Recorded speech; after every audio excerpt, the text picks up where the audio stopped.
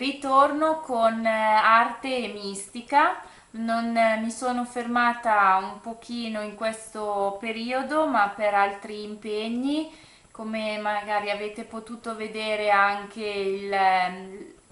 la um, creazione della Via Crucis e di, di altre, diciamo, opere che, che poi man mano eh, verranno magari anche presentate perché credo anche proprio per il, i testi a cui attingo meritano assolutamente di essere conosciuti. E io mi auguro davvero che la gente la cominci a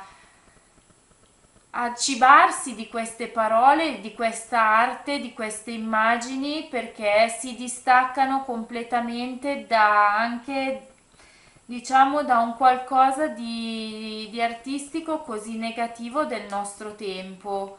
sia con gli scritti che non sono miei ma sono del Don Giorgio dei Capitani ehm, che con appunto il, la, le mie rappresentazioni si vuole andare oltre. E non a caso ho deciso di, di fare un, qualche video perché in uno diventerebbe troppo lungo eh, qualche video su un pittore che mi piace veramente tanto che ho scoperto e che poi non si finisce mai di scoprire ed è il Beato Angelico. Attraverso il Beato Angelico si può davvero arrivare a capire cos'è anche l'arte Beato Angelico che è del periodo del 1395 circa e muore nel 1455, quindi siamo nel primo rinascimento e siamo anche in un um, momento in cui um, c'è una la mistica medievale ha lasciato una determinata impronta e quindi molto importante. Non posso dire che il Beato Angelico fosse un mistico, un frate pittore mistico, però posso dire che probabilmente delle influenze c'erano, almeno a mio avviso, perché quello che è sconvolgente e che è bellissimo da notare nei suoi dipinti è proprio in questo dettaglio immutabile che è la luce. E, ehm, e la luce lui la materializza suoi, in, come in raggi dorati, in, um, è una luce diffusa perché è, diciamo, è una fonte per lui immensa e questo lo possiamo, possiamo anche dedurre che è una luce che lui vede e fa uscire da dentro e che prende, ehm, prende dalle sue letture, dal suo credo, dalla sua, gran, dalla sua fede.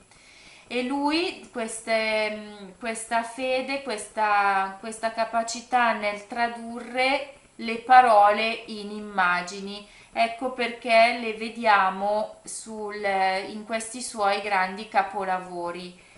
e ehm, diciamo che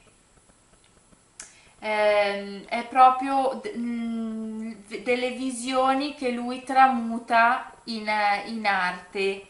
E è un trascrivere anche le visioni di Dio, le parole di Dio. E questo è un lavoro immenso di immensa bellezza che questo frate Beato Angelico fa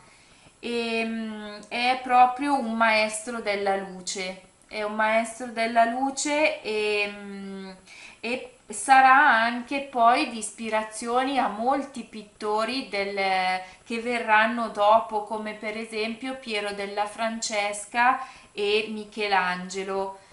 E Beato Angelico nella sua sem- bellissima semplicità, nella sua purezza, ecco che quando si guardano i suoi dipinti, e questo ci tengo veramente a sottolinearlo, eh, è come se bisogna, bisognasse essere totalmente puri, leggeri, puliti, perché lui è questo quello che ci chiede, è questo il messaggio anche che ci arriva e eh, proprio la bellezza che si vede ma la bellezza divina, quella proprio con scritta con la, la, B maiuscola, che traspare e che ci eh, viene a noi. Ecco che poi continueremo questi, mh,